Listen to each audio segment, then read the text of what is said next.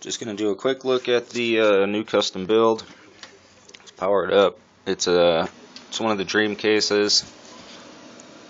Got a ridiculous deal on it. Um, triple booting between uh, Ubuntu 12.4 and uh, Backtrack. I think I'm actually going to take Ubuntu down to 10.4 just because I like that version.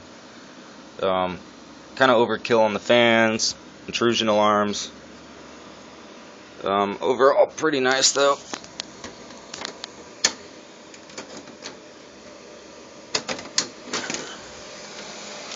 It's got an Asus board in it, one of the fanless boards, brushless design, lots of space, fan controllers on it. We might water cool this one, I'm not sure. But uh, overall, ridiculous deal I got on it. Got some extra firewire cables up here, USB ports. Pretty good, fast as fast as shit when pen testing, so good to go. Not a bad deal.